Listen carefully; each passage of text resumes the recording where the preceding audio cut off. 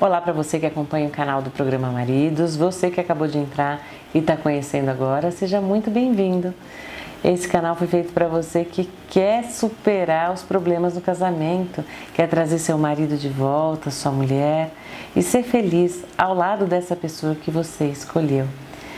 Eu espero que os meus conselhos façam a diferença na sua vida, como tem feito na vida de muita gente. Obrigada pelos comentários, eu fico muito feliz que os meus conselhos estejam fazendo diferença aí na sua casa. Nesse vídeo eu vou falar sobre falta de atenção.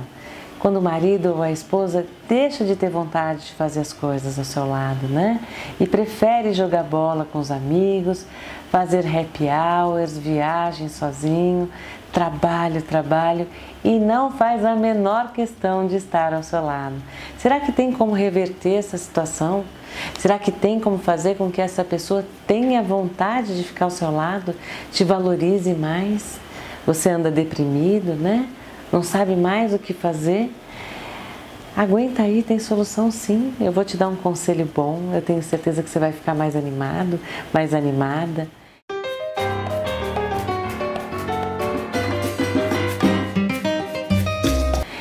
Aqui o comentário de uma das seguidoras do canal do programa Maridos. Com certeza, o conselho que eu vou dar para ela vai fazer diferença na sua vida também. Meu marido não liga para o que eu sinto. Eu converso e agora ele está focado no futebol. Temos dois filhos e estou cansada da falta de atenção. Já conversei sobre, mas não dá uma semana e ele continua o mesmo. Todos os dias penso em desistir do nosso casamento, mas eu ainda o amo. O que fazer?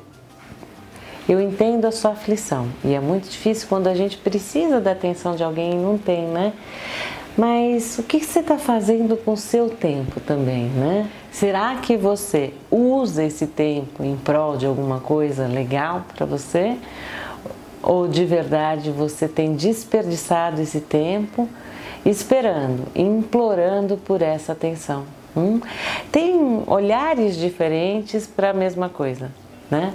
Ou seja, alguém pode ver é, a sua situação como algo muito negativo, né? Por isso que é muito, muito complicado quando você aceita conselhos de família, amigos, né? Porque cada um pensa de um jeito, cada um recebe isso de uma maneira. E você não, né? No fundo, se você está aqui no canal do programa Maridos, né? Porque a gente pensa muito parecido em você, né?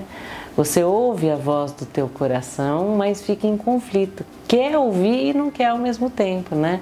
Fica preocupado pela impressão do entorno, né? O que, que vão achar.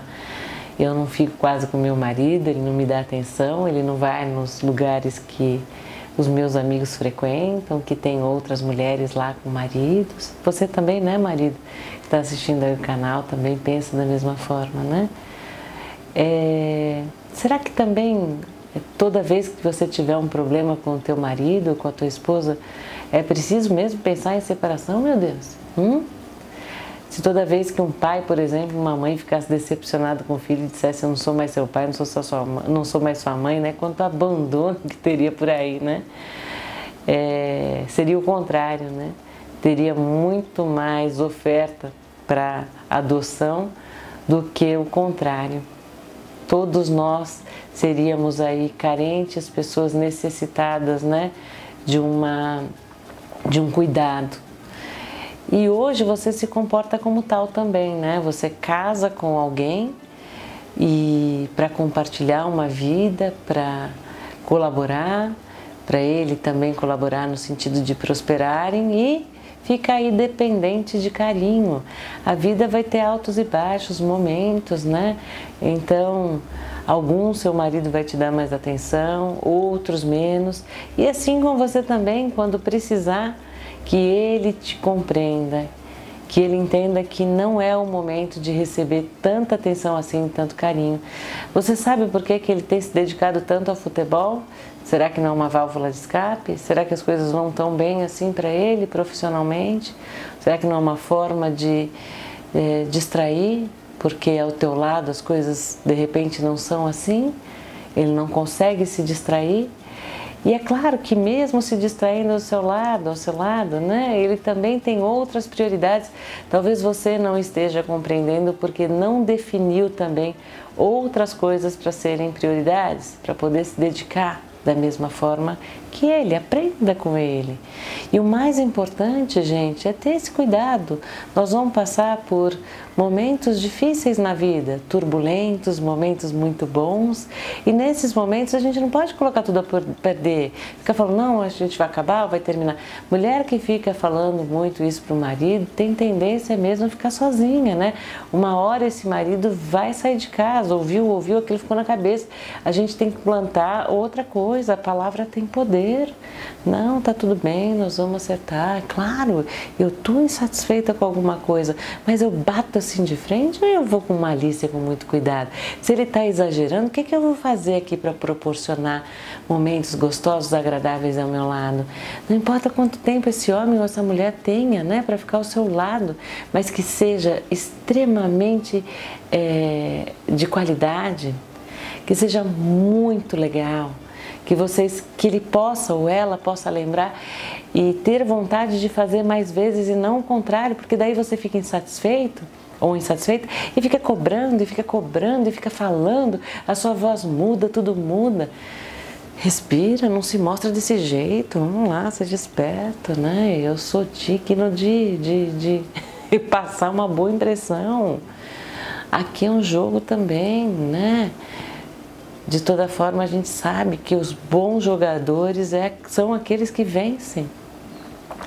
Eu preciso jogar bem aqui também, preciso tomar cuidado, porque senão eu vou virar vítima de uma situação. E o meu marido ou a minha esposa às vezes não tem, né, ainda preparo suficiente para me ajudar a sair da condição de vítima. Eles não são cuidadores, eles não são enfermeiros, não são médicos, são mortais, né? Simples mortais como você. Às vezes mais evoluídos, outras vezes não. Então, ao invés de esperar tanto né, dessa pessoa, procure se ocupar com coisas que vão te fazer muito bem. Vai chegar um dia que você vai até agradecer. Você fala, nossa, que bom, né? Que naquele momento ele esteve ocupado e eu trouxe essa outra paixão, essa outra realização para a minha vida. Gente, outra paixão não é você sair atrás de um homem, de uma mulher, não. É outra coisa que te dê tanto prazer como ficar do lado dele ou dela, que pode ser um estudo, que pode ser um trabalho, que pode ser visitar alguém que você não visita há muito tempo, pode ser fazer uma boa ação, que pode ser se dedicar um pouco mais a um filho que você não tem é, feito, né? Isso por falta de tempo, ou até por perder mais o seu tempo pensando no seu amor. Tudo isso dá para fazer sem ficar pesado, sem que fique é, uma situação é, pessimista, onde você acredite que não tenha jeito. E tem jeito sim. Você está casado, você vai aprender a lidar com o relacionamento de vocês até criar um formato adequado e mais interessante para vocês dois. Então não é o formato do vizinho, o formato da família, de repente, que cabe ali para vocês. Vocês vão criar um novo formato bem adequado à realidade de vocês e eu tenho certeza que serão muito felizes sim aceitando que na vida realmente há altos e baixos, mas que você, quando aprende a lidar melhor com essa situação, encara a vida de maneira muito mais positiva e otimista. Gostou do vídeo? Então curta, se inscreva no canal e tá vendo esse sininho que tem aí? É só clicar para receber as notificações dos novos vídeos que vem por aí. Gostou do vídeo? Então curte e se inscreva no nosso canal.